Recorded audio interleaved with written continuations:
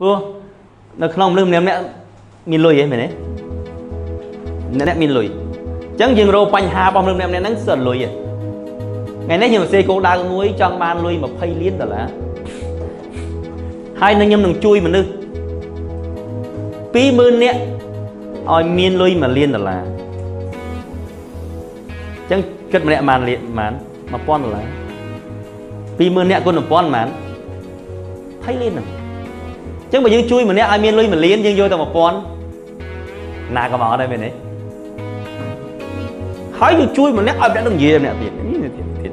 យើងមានគំនិតព្រោះអ្នកណាក៏អាចខ្លាចជាអ្នកមានបានដែរ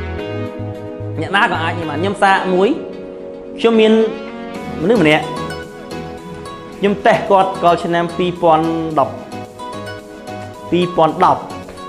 2009 2010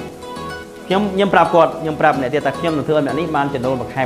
10000តែអ្នកនឹងយកអីឲ្យគេបានមួយខែតែ250ទេខ្ញុំថាតែនេះមួយខែ10000អានឹងនឹងមានកំណត់ខ្លាំងខ្ញុំហូបបាយមួយគាត់ពួកខ្ញុំចង់ខ្ញុំចង់ឡើងកម្មវិធីទូទាស់តែអ្នកនឹងចេះអានឹងខ្ញុំថាដូរគ្នាទេខ្ញុំបង្រៀនពីខ្លួនអ្នកមានឲ្យហើយអញ្ជើញខ្ញុំឡើងទូទាស់ពួកខ្ញុំចង់ល្បីពួកកំណត់ខ្ញុំវាល្អប៉ុន្តែ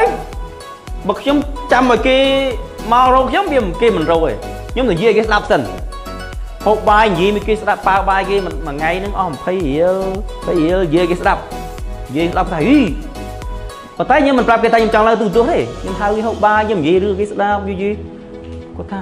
គំនិតហ្នឹងបើសិនជាបានដល់មនុស្សរាប់ម៉ឺនអ្នកស្ដាប់ល្អខ្ញុំថាល្អតាធ្វើម៉េចខ្ញុំចង់អញ្ជើញបងផាយឡើងទូទាស់ ហេ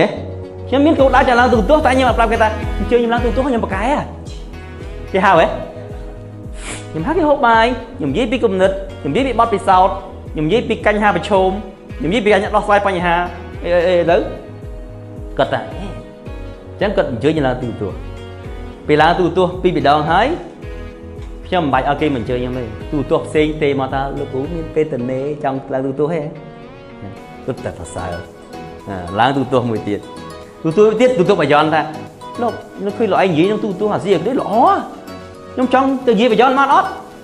គាត់តែប្រសើរបោះលេខ5ខ្ញុំឃើញលោកគ្រូទៅនិយាយទូទាស់ទៅបោះលេខ5ទៀតបោះលេខ3បោះអប្សរាបោះលេខ9ចង់គាត់មកយកអាអាសម្ភារហ្នឹងដាក់ចូលក្នុង YouTube ទាំងអស់ហើយគេមើល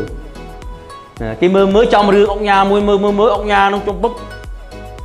អីខ្ញុំត្រូវការកំណត់របស់លោកនិយាយគ្នា